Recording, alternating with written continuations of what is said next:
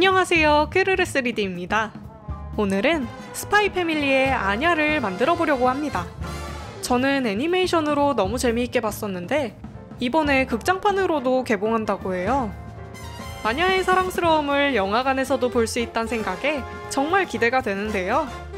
그래서 이 극장판 포스터의 모습으로 아냐 피규어를 만들어 보겠습니다.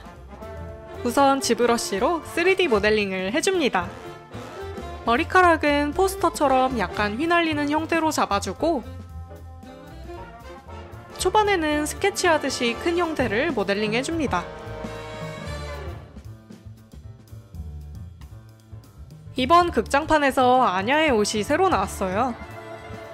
신상 코트와 모자도 만들어줍니다.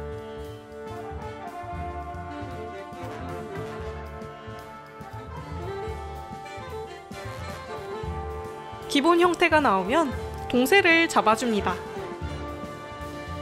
큰 덩어리가 다 잡히면 옷의 주름이나 작은 부분들을 모델링 해줍니다.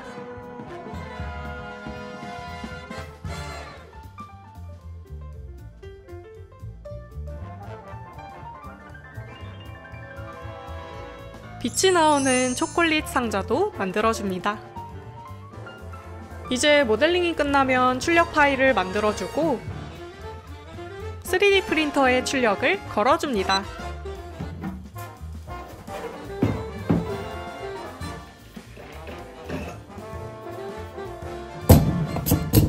출력이 끝나면 build plate에서 출력물을 떼어줍니다.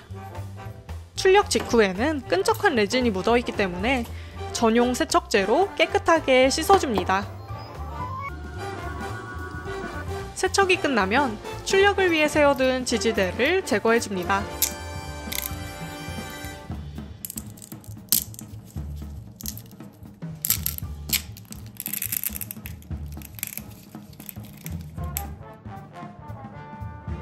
물기를 잘 말리고 UV 경화기에 넣어줍니다.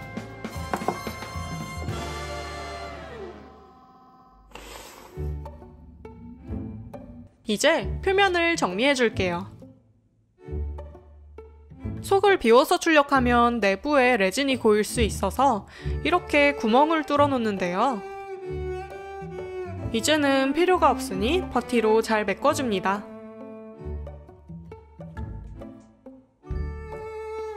오돌토돌 나 있는 support 자국을 사포로 다듬어 줄게요. 사포의 방수를 높여가며 매끄럽게 갈아줍니다. 후가공이 끝나면 surfacer를 뿌려줍니다. surfacer는 표면을 정리해주고 도료가 잘 안착되는 역할을 합니다. 얼굴을 칠하기 전에 눈 아래 마스킹 작업을 먼저 해줄게요.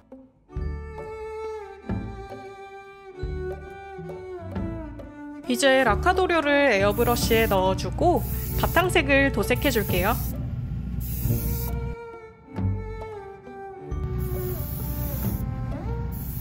얼굴 외곽 위주로 음영도 살짝 넣어줍니다. 분홍색에 노란색을 조금 섞어서 아냐의 머리카락을 칠해줍니다.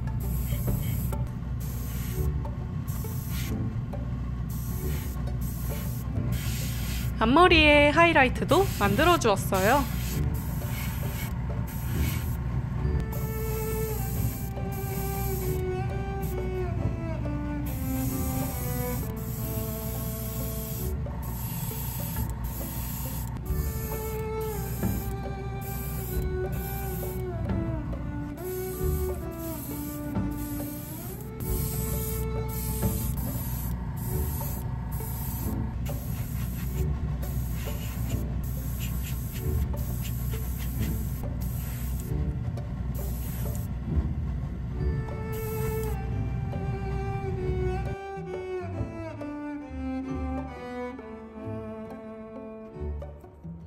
헤어브러쉬 작업이 끝나면 마스킹 테이프를 제거해줍니다.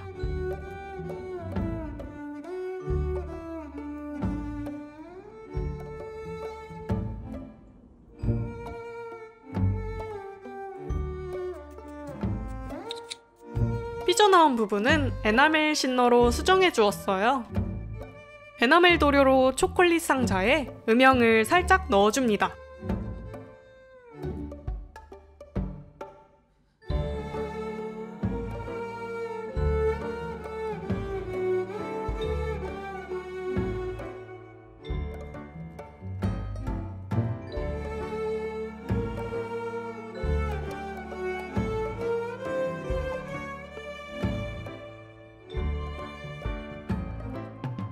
이번에 받침대를 어떻게 할까 생각하다가 아냐 가족이 여행을 떠나는 스토리라서 캐리어를 놓아주었어요.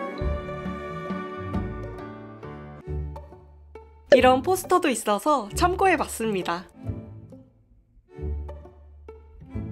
스파이 패밀리 시대 배경이 1970년에서 80년대 냉전 시대쯤이라고 해요. 그래서 옛날 캐리어들이 잔뜩 놓여있나 봐요.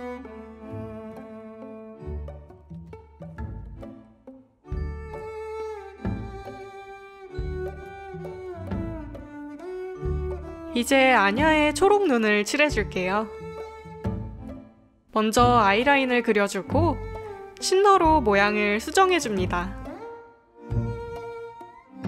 라카도료는 에나멜 신너에 지워지지 않기 때문에 에나멜 신너로 쉽게 수정이 가능합니다.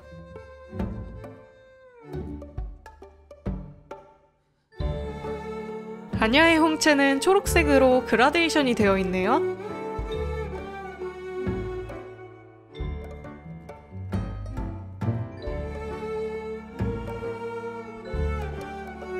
중간중간 유광 스프레이를 뿌려가며 도색해 주었는데요.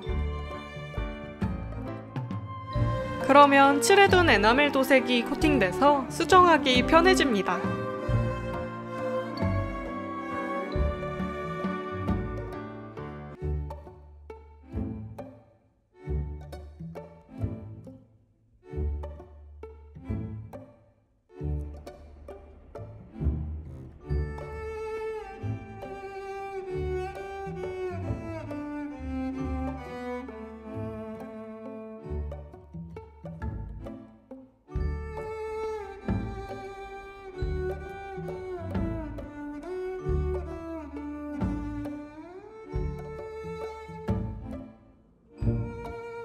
눈에 반짝이도 만들어주고 아니야 눈 아래 있는 듯 없는 듯한 그림자가 있어서 그려주었습니다.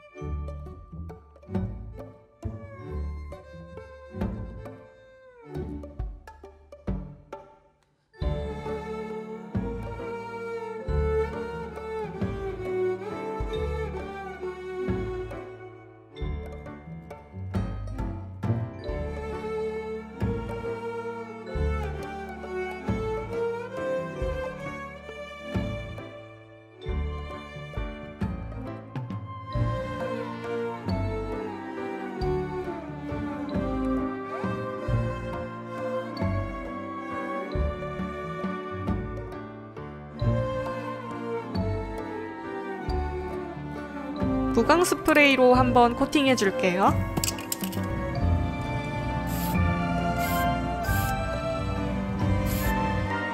그 다음 아냐의 발그레한 볼을 파스텔로 칠해줍니다. 경계진 부분은 잘 풀어주고 다시 한번 무광 스프레이로 코팅해줍니다.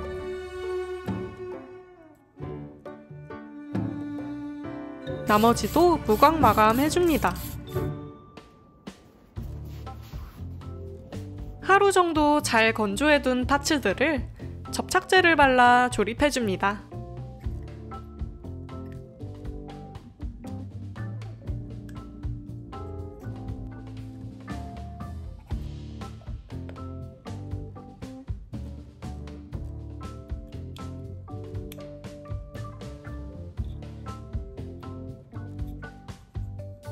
상자에 LED 조명을 넣어서 불빛을 표현해 줄게요. 전선을 미리 뚫어둔 구멍에 잘 연결해 줍니다.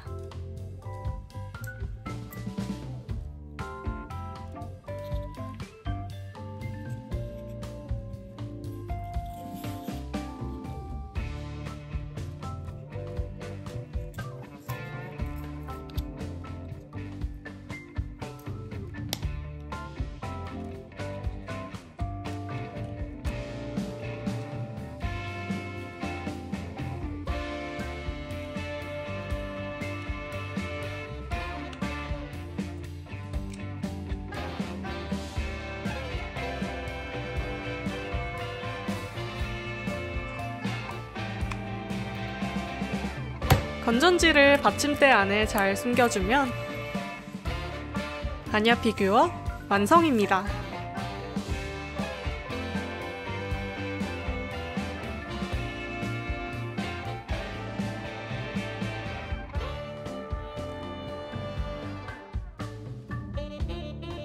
오늘도 영상 시청해주셔서 감사합니다.